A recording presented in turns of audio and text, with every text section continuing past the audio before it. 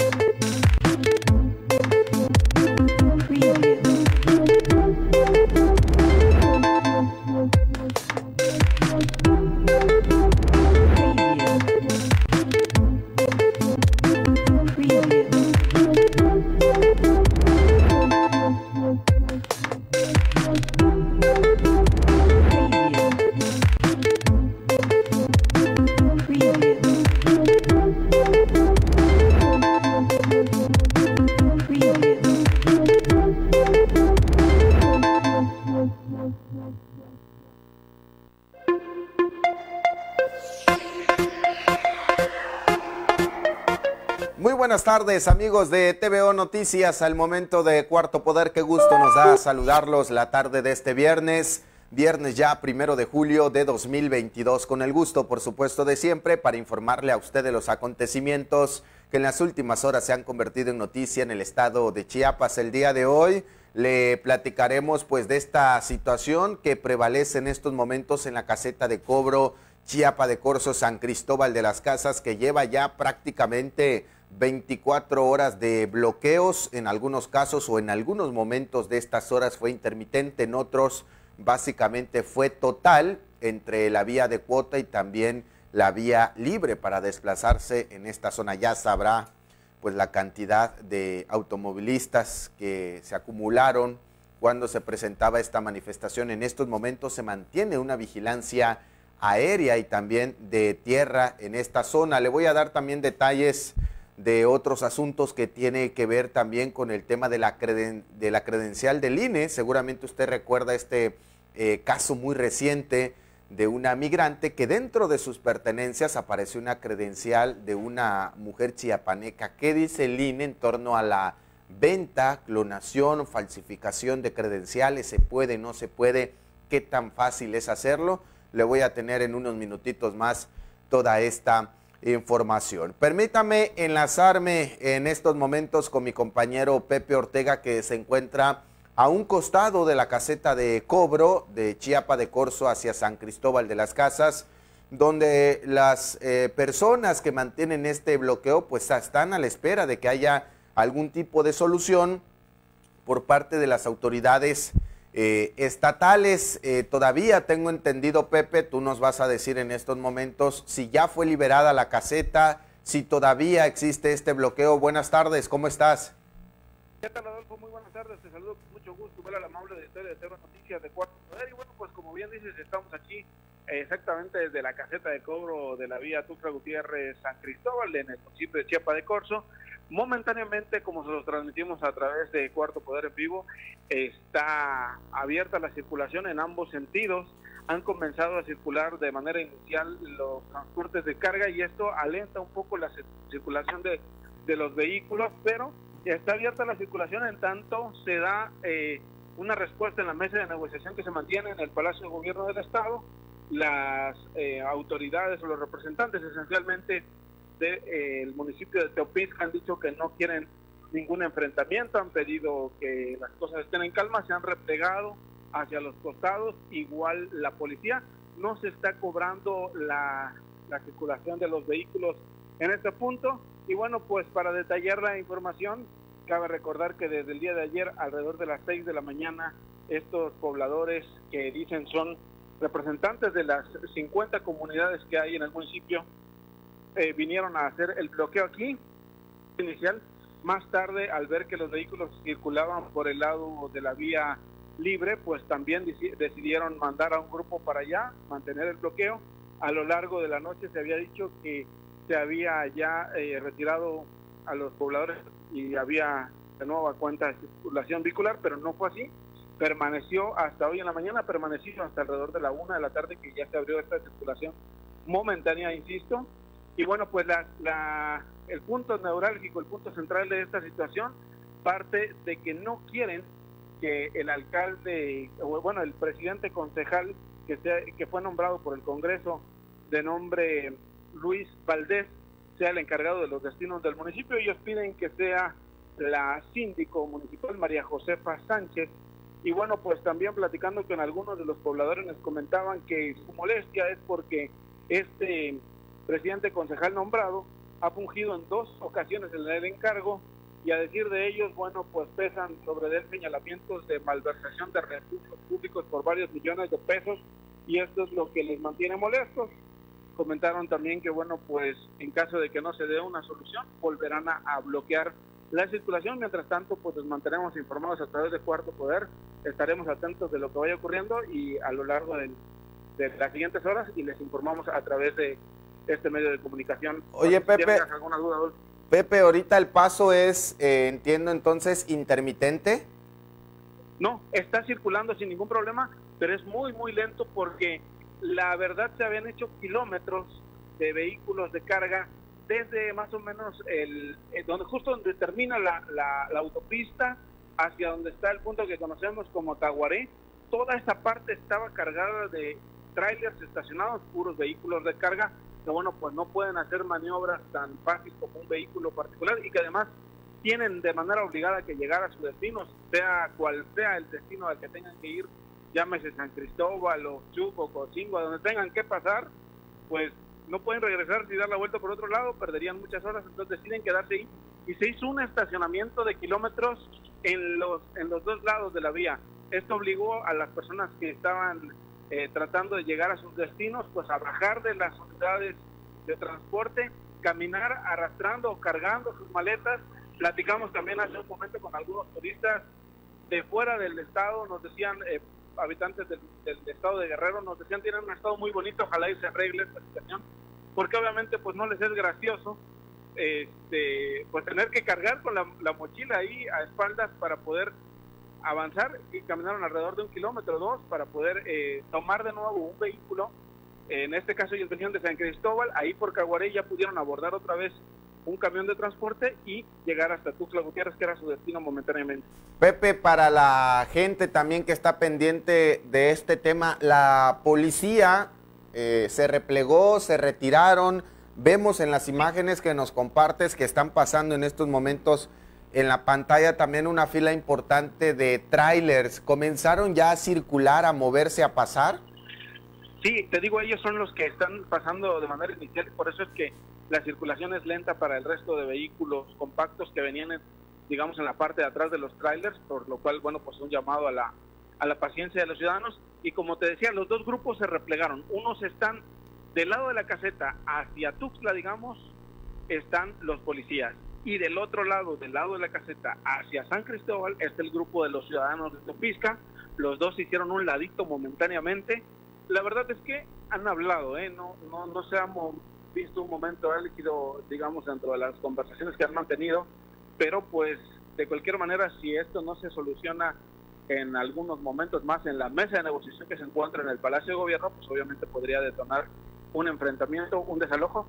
Esperemos que no se dé así, y quienes pues se quieran animar todavía, por ahí algunos eh, conocidos me hablaron, vienen del municipio de Carranza, porque también recordemos que hay bloqueo en la comunidad Flores Magón, en este punto del estado, entonces se desvían para venir por este lado y también se topan con otro bloqueo, pero momentáneamente, si, ahora sí que si le apuran un poquito, igual y pueden pasar por este lado de, de la carretera. Ya más adelante pues está, está sin problemas la circulación eh, viniendo, digamos, por esta parte del aeropuerto, pasando por ahí, ya no hay ningún, ningún problema. Gracias, Pepe, por esta información. De ser necesario, pues regresaríamos contigo en caso de que eh, se alcancen acuerdos. Muchas gracias, un abrazo, Pepe, cuidado. Quedamos al pendiente, buenas tardes. Vamos a más información ahora con mi compañero William Chacón. Nos va a platicar esto que tiene que ver con la producción de plátano en nuestro país y qué lugar ocupa Chiapas. Te escucho, William. Buenas tardes, Adolfo. Buenas tardes a todo el auditorio. Este día te comento que México ocupa actualmente el lugar número 12 a nivel mundial en producción de plátano, con un volumen total de 2.384.778 toneladas, encabezando la lista de estados más productores Chiapas, Tabasco y Veracruz, de acuerdo con cifras del Servicio de Información Agroalimentaria y Pesquera. Fomento Económico de Chiapas, Asociación Civil, difundió un reporte sobre el avance en la producción de Productos Agropecuarios, con cifras al 31 de mayo de 2022, que refiere que Chiapas registra una producción de 271.523 toneladas de plátano, seguido de Tabasco con 238.000 y Veracruz con 146.000.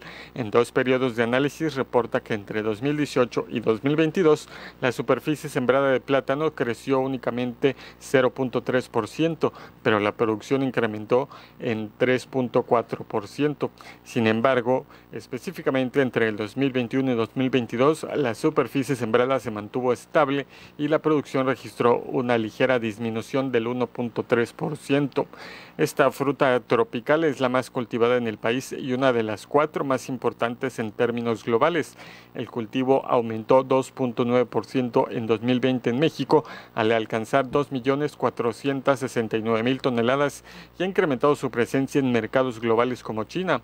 El 50% de la producción en Chiapas se destina a exportación y el resto para el mercado local y nacional. Tan solo en la región Soconusco hay un registro de 340 productores que sumando los ejidos rebasan los 2.000 solo en el área social. El mercado extranjero más lejano para el plátano chiapaneco son los países asiáticos y le sigue como el principal destino el país vecino del norte, Estados Unidos, que representa la mayor parte de los ingresos para los productores. Es mi reporte, Adolfo, regreso contigo. Gracias, William, por esta información. Voy hasta el lado oriente de Tuxtla Gutiérrez, particularmente a la colonia La Misión, con mi compañero Daniel García. Nos presenta estas actividades que hacen referencia a un programa de reforestación. Te escucho, Daniel, buenas tardes. Vecinos del fraccionamiento La Misión, altruistas y miembros de la Secretaría de Medio Ambiente y Movilidad Urbana se dieron cita para plantar 80 árboles en el bulevar del fraccionamiento ubicado al suroriente de la ciudad como parte del programa municipal de reforestación. El responsable de la Secretaría, que forma parte del Ayuntamiento de Tuxtla Gutiérrez, Aurelio Cruz Obando, destacó que el programa busca atender los espacios públicos y dotar de servicios ambientales a los ciudadanos, y detalló que Hemos iniciado este programa el pasado 11 de junio. Al día de hoy ya llevamos plantados un poco más de 1.700 árboles en diferentes espacios. Sí, eh, nuestro porcentaje de sobrevivencia es entre el 70 y el 75% de lo que se ha plantado afortunadamente. Y esto porque no estamos concentrados tanto en la cantidad, sino en la calidad de los espacios en los que estamos trabajando. El secretario también argumentó que con estas acciones se busca sensibilizar a los ciudadanos para atender la importancia de la acción y labor en beneficio del medio ambiente y sobre todo de los servicios ambientales que brindan los árboles. De acuerdo a la Semarnat, los árboles urbanos producen oxígeno, purifican el aire, evitan la erosión, captan agua para los acuíferos y sirven como refugio para la fauna, además que reducen la temperatura del suelo. Vecinos del fraccionamiento formaron parte de los actos medioambientales, así como jóvenes de las librerías Levítico. La residente Clara Cruz destacó que eh, siempre hemos buscado la manera de que eh, los árboles sean cuidados, protegidos, porque nos ayuda y nos sirve para el bien de nuestra salud. Por su parte, Rafael Martínez dijo sentirse contento, pues esto dota de una buena vista al lugar. La verdad que es muy, ahora sí que se vea muy bonito estos lugares que son los lugares de recreación para todos nosotros, que inclusive nosotros venimos a, caminar o a recorrer un rato por las mañanas y por las tardes. Y qué bueno que las demás familias también se, se unan y que vean que esto está atractivo. Las especies fueron seleccionadas y van acorde al espacio, pues no deben sobrepasar los 3 metros de altura para que no dañen el cableado de luz eléctrica. Sin embargo, la poda y atención al crecimiento debe ser parte de la labor ciudadana y gubernamental. Por último, Cruz Obando acotó que con estas acciones se da cumplimiento a un mandato constitucional, el artículo cuarto que establece que tenemos derecho a un medio ambiente sano, y en ese sentido dijo, estamos garantizando entre todos un ambiente sano desde el ayuntamiento para que tengamos la responsabilidad y la presencia del arbolado. Con imágenes de Marco Osorio, este es el reporte. Adolfo, que tengas buena tarde. Gracias, Daniel, por esta información. Mire, empresarios de la Canaco comentaron que en los meses más álgidos de la pandemia, un promedio de entre 250 y 300 empresas fueron las que prácticamente recibieron un impacto mayor por todas estas eh, restricciones comerciales que había. Te escucho, Rodolfo. Buenas tardes. Les saludo con mucho gusto para informarles que derivado de la pandemia COVID-19, entre 250 y 300 empresas pertenecientes a la Canaco Servitur Tuxla cerraron sus puertas y no pudieron regresar. Sin embargo, en este tiempo otras empresas han logrado surgir y consolidarse. Por ello, no podría hablarse de un impacto en cuanto al número de afiliados que se tenía hasta antes de la crisis sanitaria. Hugo Armando Porras Pérez, presidente de la Cámara, dio a conocer que desde el año 2020 ha ocurrido un proceso atípico, pues no se entendía sobre los alcances de la crisis sanitaria y en ese momento tampoco se creía que las actividades productivas serían suspendidas. En ese proceso, dijo, se vieron afectadas muchas empresas. El cierre se dio al no estar en circulación la población por el confinamiento, que también afectó a todos los negocios. Finalmente, nosotros los empresarios vivimos del flujo que tiene la población, del gasto que realiza en cada negocio, y eso se detuvo. La población gastaba únicamente en comida, medicamentos e insumos para su cuidado personal. Ante ello y el no poder sostener sus gastos operativos, muchas empresas cerraron sus puertas y esto generó un impacto en todo el sistema empresarial y comercial Agregó que venimos retomando el camino. La realidad es que esos eventos son cíclicos, depuran el mercado, es un proceso que se da. Los que están mejor preparados toman las decisiones más adecuadas para sus negocios. Por ello, la capacitación es básica para que un negocio sobreviva. En este panorama consideró que hubo quienes tomaron las mejores decisiones para sus negocios y sobrevivieron y otros simplemente no lo lograron. No tenemos un número exacto del total de empresas afectadas, dijo, pero en la Canaco fueron entre 250 y 300 las que se vieron afectadas y las cuales ya no regresaron, ya no están. Pese a ello, para este 2022 este número se ha recuperado, pero no son las mismas empresas que quebraron, son otras que surgieron. Los empresarios que, conforman la Canaco Tuxla son cerca de 3.000 actualmente, únicamente de Tuxla Gutiérrez. En algunos rubros los empleos se han recuperado y superado incluso los números del 2019, destacó. Hasta aquí mi reporte regresamos contigo. Gracias Rodolfo por esta información. No sirve de nada eh, vender alguna credencial de lector que sea vencida, ajena por supuesto a la persona titular. Esto lo señala el INE por toda esta situación que se generó con una migrante que traía una credencial que en principio parecía que era de una chiapaneca y después se confirmó que se trataba de una credencial extraviada. Lo importante cuando ocurra esta situación es acudir ante las autoridades para que este tipo de documentos quede inhabilitado. Aquí el reporte completo después de la situación que ocurrió con una credencial de lector de una chiapaneca que apareció en manos de una migrante que logró salir con vida en relación a lo ocurrido en Texas, donde murieron 53 personas al interior de un tráiler. Reyler Cáceres Rodas, jefe de actualización al padrón electoral del Instituto Nacional Electoral en Chiapas, confirmó que no sirve de nada vender un plástico que perdió validez o hacer mal uso debido a que se trata de un documento que ya no funciona como identificación ante un asalto, robo o extravío, remarcó que es fundamental que la ciudadanía acuda a presentar una denuncia o dar parte a las autoridades para deslindarse de cualquier tipo de responsabilidad en el mal uso que alguien más pueda darle. Al preguntarle qué tan común es la venta de una credencial vencida, a sabiendas que podría cometerse un delito con esta actividad, refirió que en la actualidad, con todas las medidas de seguridad que contienen las credenciales, es muy difícil que alguien pueda falsificar este tipo de documentación.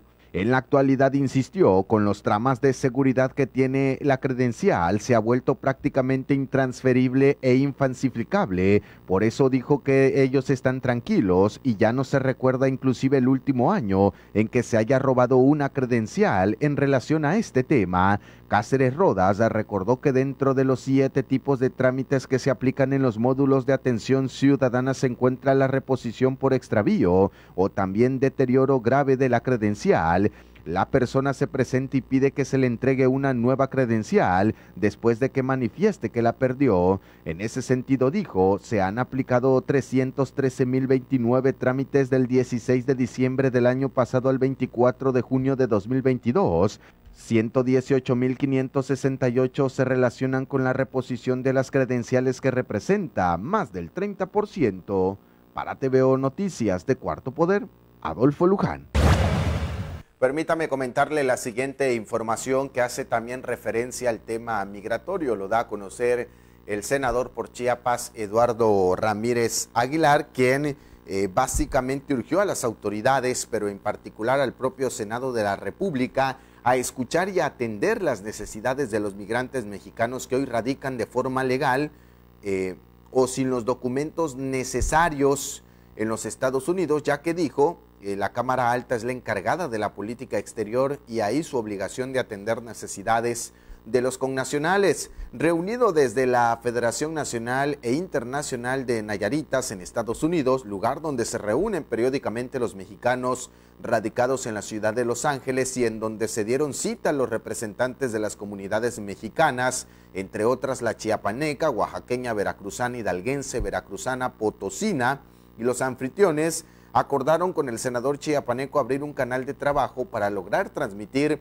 las necesidades de los mexicanos que hoy sostienen la economía de las familias. Eduardo Ramírez agradeció la asistencia de los representantes mexicanos, en particular de los chiapanecos asistentes como Rodolfo Balboa, originario de Arriaga, Chiapas, y residente por más de 20 años en Los Ángeles, quien dijo que es un buen momento para iniciar la atención de las necesidades de los migrantes que radican allá en los Estados Unidos. Es la información que se da a conocer por parte del senador chiapaneco Eduardo Ramírez Aguilar. Con esto permítame ahora pasar al rubro de la cultura con mi compañero Darwin Mendoza.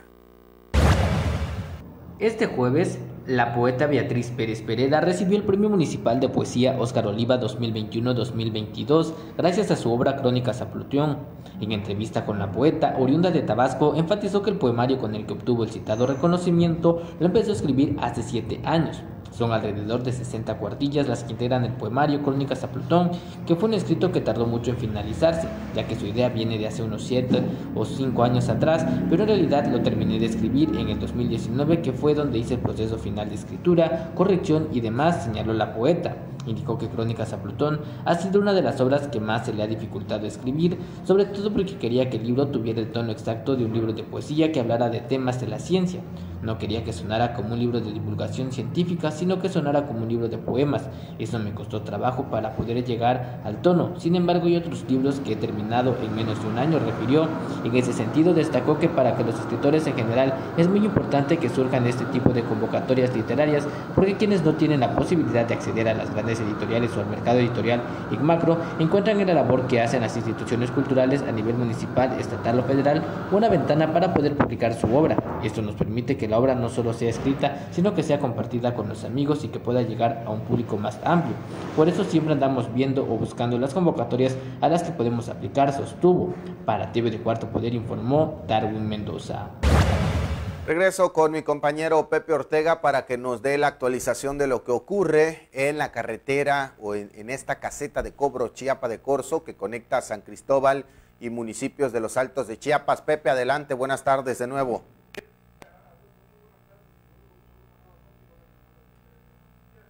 Bueno, pues eh, ha habido momentillos álgidos por ahí. Eh, trataron los eh, pobladores de tener un vehículo por alguna razón desconocida, pero ha permanecido la, la, circulación. Lo que sí nos comentaron es que están viniendo más pobladores de la comunidad, de las comunidades diferentes de Topisca, ya acercándose para que en caso de que no se resuelva, pues se sumen no solo al bloqueo, en todo caso al enfrentamiento. Eh, pues la verdad es que si usted tiene la obligación o, o, por algún motivo muy, muy estricto la necesidad de circular por esta vía, pues hágalo, pero en caso de no eh, ser imperante la necesidad, pues eh, es mejor evitarse, evitarse las molestias. Eh, afortunadamente desde, te decía, alrededor de la 1 y cuarto ha permanecido abierta la circulación en ambos sentidos, pero sí con una carga vehicular bastante considerable pues por el momento es lo que podemos informarles. De cualquier manera, pues les informamos a través de los en vivos de Cuarto Poder eh, de lo que vaya ocurriendo en las siguientes horas. Gracias, Pepe, por esta información. Y bueno, con eso nosotros llegamos a la conclusión de esta segunda emisión. A nombre de todo el equipo, nuestros compañeros Marcos Osorio en los sistemas informativos, el ingeniero Armando Barrientos en la edición, Gustavo del Carmen en la realización, mi compañero Max Otero. Soy Adolfo Abosaid, que pase Buena tarde, recuerde si usted va a transitar por la vía Chiapa de Corzo, San Cristóbal, extreme precauciones, la vialidad se está restableciendo de a poco y hay un tráfico importante en esta zona. Un abrazo, buena tarde, buen provecho. Recuerde mañana en punto de las 8 de la mañana.